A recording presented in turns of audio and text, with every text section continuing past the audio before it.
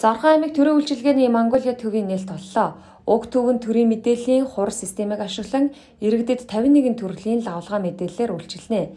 Энэ төв нь орон нутгаас хамгийн түрүүнд Орхон аймагт ашиглалтанд орж байгаараа онцлог юм а. Уг төвийг захиргааны 4-р байрны нэг давхурт байгуулсан бөгөөд засвар ажлыг Эрдмэнд компани 22.2 сая төгрөгийг нийгмийн хариуцлага хүрээнд санхүүжүүлж Цагаан бүргэд констракшн компани гүйцэтгэсэн байна.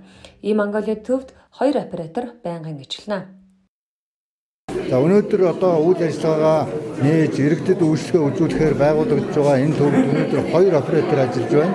Нийтдээ 9 байгууллагын 51 одоо төрлийн үйлчлэгээ давлгаа тодорхойлолтуудыг иргэдэд үзүүлж байна.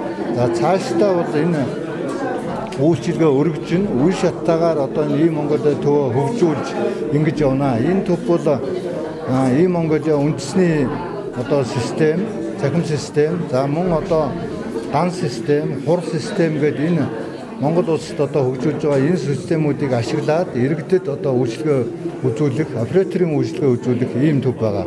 Засгийн газрын тохируулагч агентлаг харилцаа холбоо мэдээллийн технологийн газар нь төрийн үйлчилгээний нэгдсэн ийм Монголиа системийг хөгжүүлж байгаа бөгөөд өнөөдрийн байдлаар төрийн 540 гаруй үйлчилгээг цахимаар нэвтрүүлж байна. Тун удахгүй ийм Монголиа хоёр системийг нэвтрүүлж хиймэл оюун ухаан ашиглаж эхэлнэ гэж мэдэгдлээ.